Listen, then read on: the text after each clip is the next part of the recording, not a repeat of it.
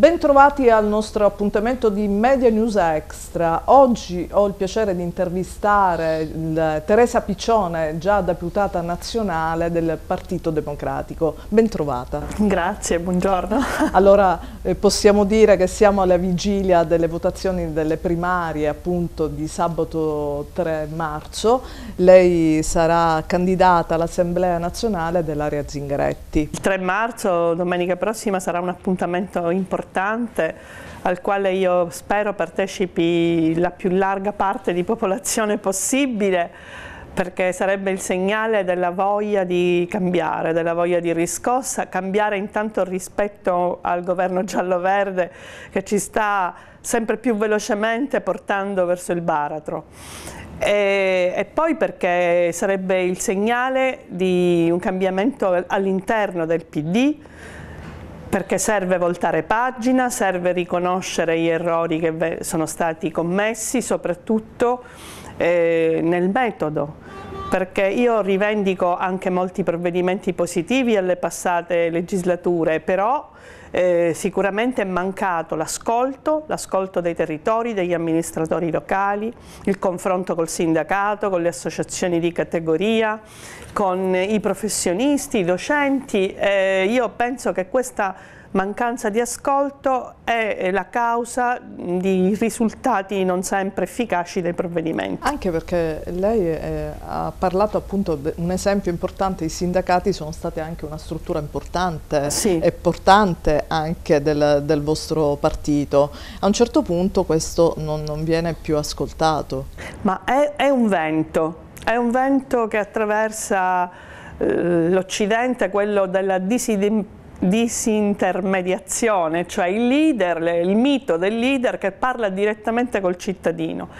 Questo leader che parla in effetti è una grande illusione, nel senso che il leader parla, è il cittadino che non riesce ad arrivare al leader, perché senza chi lo rappresenta, senza una, una, voce che possa raccogliere le istanze e presentarle tutte insieme, in effetti il dialogo non c'è.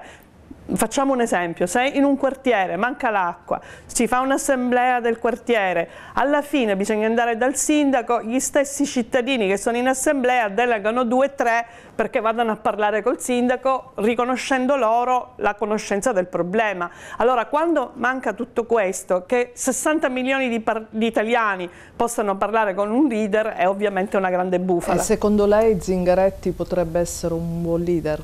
Sì, io mi sono candidata proprio a sostegno di Nicola Zingaretti domenica alle primarie eh, perché eh, Zingaretti ha degli elementi da questo punto di vista importanti e rassicuranti. Uno è la sua capacità di unire, eh, sia come amministratore, dieci anni presidente della provincia di Roma, eurodeputato, adesso per il secondo mandato presidente del Lazio, della, della regione Lazio, nel giorno in cui il Partito Democratico perde rovinosamente le elezioni, Nicola Zingaretti l'anno scorso viene confermato a larga misura come Presidente della Regione Lazio. Questo eh, cosa indica? Che non solo è un buon amministratore, ovviamente i cittadini glielo riconoscono, ma ha anche capacità di coalizzare forze diverse con le quali interagire, dialogare, confrontarsi e che tenere poi, unito. Mi perdoni, è anche un segnale che lui si riconferma nella Regione Lazio. Eh, certo. Perché insomma Roma è tutta colorata 5 Stelle. Sì, ma eh, la Regione Lazio è in questo momento la seconda per prodotto interno lordo in Italia, quindi è una regione che sicuramente è stata amministrata con grande oculatezza. Allora, mettendo insieme queste due doti, eh, e mettendo insieme la competenza acquisita in tutti questi anni, io credo che possiamo affidare al PD a mani sicure, a mani che comunque, intanto che lo amano, intanto che ci credono, eh, intanto che sono eh, pronte al lavoro e non cercano la prima pagina ma cercano invece la condivisione, eh, un po' meno di protagonismo e un po' più di condivisione e collegialità dovrebbero essere le ricette buone per riprendere il Partito Democratico, che in questo momento, mi permetto di dire, ha una responsabilità in più.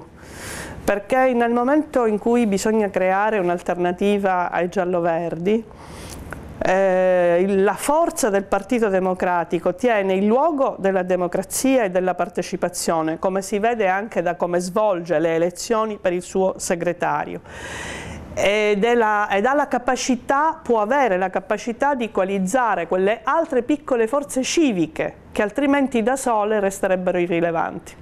Per adesso tra l'altro il PD ci sono state, insomma, sono in corso le ultime, stanno chiudendo i seggi appunto in Sardegna, il PD ha avuto anche dei risultati, insomma un po' di, sta emergendo lentamente, però non è tanto questo che le volevo dire. Come vede lei, perché lei ha un'esperienza a carattere nazionale molto eh, forte, come vede questo impatto tra 5 Stelle e Salvini, soprattutto post, quando c'è stata la storia appunto di Diciotti? Non, è, non, si è un po' appiattito secondo lei 5 Stelle con la no, Lega? si è molto appiattito, un po' è diciamo, un eufemismo. Eh, io vedo un 5 Stelle fagocitato da Matteo Salvini, che è un leader politicamente attrezzato e capace, eh, del quale non condivido niente, però mi rendo conto che sta assorbendo eh, buona parte di quello che poteva essere la volontà di governo dei 5 Stelle, praticamente vanificandola. E in più eh, vedo in questo governo una responsabilità grave che è quella di stare in piedi per una divisione di potere e poltrone. Eh, questo contratto non ha un'idea condivisa di paese, non l'ha sulle opere pubbliche, non lo ha rispetto alla democrazia diretta, non lo ha rispetto alla società civile, non lo ha rispetto alla scuola e alla famiglia. Cioè cosa tiene insieme questi pezzi? Solamente di stare al governo, ma eh, non è il modo di governare un paese. Come vede lei l'Europa? Tra poco andremo a votare per l'Europea. L'Europa è una grandissima opportunità ed è, eh, ha molte cose che devono essere riformate, cambiate, ma soprattutto portate avanti.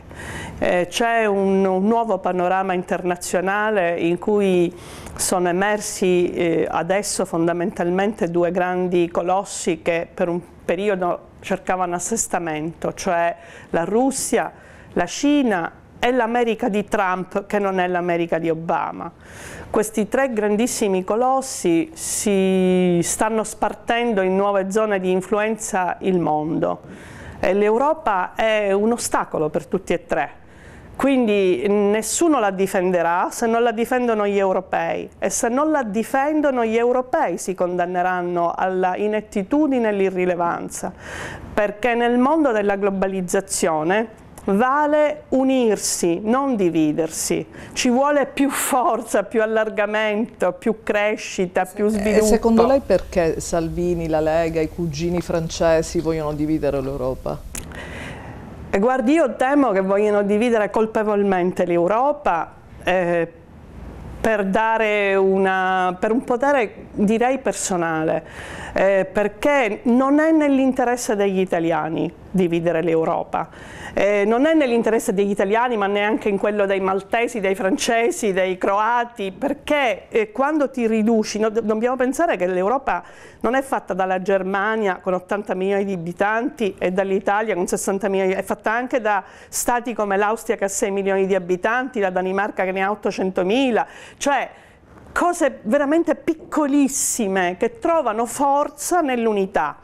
Se noi distruggiamo questo grande mercato di 500 milioni di abitanti che è l'Europa e distruggiamo le potenzialità, perché nell'Europa si concentrano 4-5 delle potenze economiche mondiali in questo momento, e noi lo, lo smantelliamo, pensa che sarà più facile per Putin quando tratta sul gas trattare con un commissario europeo che rappresenta 500 milioni di abitanti e fissare il prezzo con quello che ovviamente lo contraddice o trattando con ogni governo singolarmente si avvantaggerà di più qui, la Russia? Qui, quindi, Penso che la risposta è da quindi sola. lei pensa che le grandi potenze ha una strategia delle grandi potenze come gli Stati Uniti anni fa hanno avuto la loro recessione, sì. è stato diciamo, un dito puntato anche contro l'Europa? Sì.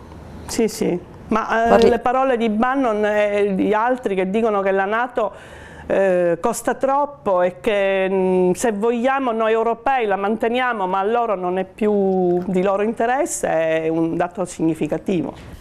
Cambiamo completamente argomento e ritorniamo nella nostra amatissima regione, che lei conosce benissimo.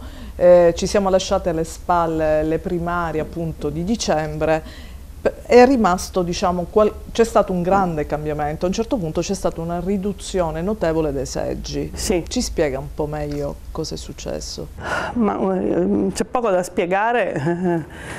Eh, Anche perché ora andiamo, cioè questa, si va a votare il punto il 3 e quindi ci sarà un problema. Eh sì, il 3. Il 3 eh, noi giocavamo prima con le camere spente con le date, il 3. Il 3, il 3 sì. marzo si va a votare e quindi cioè, ci sarà un problema con questa riduzione di seggi, c'è il sì. rischio di un soffocamento dei pochi seggi rimasti. Sì, eh, c'è una inspiegabile, inspiegabile da parte della commissione che a Palermo si occupa di organizzare il congresso, eh, di stabilire dove devono essere ubicati i gazebbi, c'è un'inspiegabile volontà di riduzione.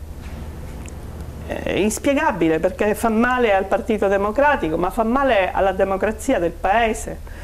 Eh, io, a me hanno sempre insegnato che i luoghi della partecipazione vanno moltiplicati, non ridotti ed è una violazione grave del, del diritto a votare del cittadino. A Palermo c'erano 28 gazebbi, tra l'altro c'è una Anche in zone delibera. strategiche Sì, c'è una delibera che dice, nazionale che dice di lasciare i gazebbi del 2017 che erano 28 e invece vengono portati a 8 e vengono cancellati i gazebbi assolutamente strategici, importanti, come quello di via Salvatore Cappello, di piazza Don Bosco, che aveva più di 1300 votanti, non si capisce perché, via Ammiraglio Rizzo e l'Arenella, non ci sarà il gazebo a piazza Mondello, non ci sarà a Pallavicino, eh, non c'è in via Brunelleschi, cioè assistiamo a qualcosa che dal punto di vista della politica eh, seria è assolutamente inspiegabile perché poi questo stesso taglio si verifica nei comuni. E comuni dove noi abbiamo le amministrazioni come Capaci, il sindaco, come Petralia Sottana, eh, non avranno il seggio e dovranno, i cittadini dovrebbero essere costretti a spostarsi di chilometri presso altre sedi, anche spiegabilmente. Per esempio da Limena dovrebbero andare a votare a Cerda, non si capisce certo. che c'è. Allora, eh, siamo purtroppo quasi a conclusione del nostro servizio. Un, un passaggio veloce sul governo regionale della Sicilia. Ma a me questo governo pare inefficace cioè ci rimangono sul tappeto ormai a due anni di distanza dalle regionali tutti i problemi che, che sono stati segnalati da tempo essere siciliani dalla viabilità, dall'intermodalità. Quindi insomma lo vede lento? Lo vedo lento, lo vedo nonostante una maggioranza a volte in grandissima difficoltà d'aula e non vedo provvedimenti che abbiano la forza di innescare un cambiamento nella direzione dello sviluppo della Sicilia. Allora, quello che eh, diciamo sicuramente gli, gli, elettori del Partito Democratico la staranno ascoltando, quello che si auspicano che il partito stesso trovi veramente una sua coesione e un unico linguaggio perché credo che sia veramente questo il problema del Partito Democratico. Eh, ricordiamo appunto Teresa Piccione che il, il 3 marzo eh, sarà appunto candidata all'Assemblea nazionale nell'area Zingaretti, tra l'altro un altro, eh, con, diciamo, chiamiamolo concorrente, cioè Giacchetti, ma l'altro favorito è Martini, Martina che credo che in questo momento Zingaretti sia quello più favorito. Sì, almeno i sondaggi ci dicono Però questo, ma non bisogna si abbassare la guardia. Sempre. E se vogliamo essere ma, un po' scaramantici. Voglio, voglio ricordare che l'elettore troverà sulla scheda solamente la denominazione delle liste, quindi per Martina, poi Piazza Grande Zingaretti, con Zingaretti e altra con Giachetti, quindi non si votano le persone, non ci sono preferenze, ma si deve solo barrare la lista che si Quindi vuole. sarà abbastanza semplice. Sì, abbastanza semplice. Allora, grazie, auguri, grazie. Eh, spero di rivederla presto. grazie. Grazie e buon proseguimento dei nostri programmi.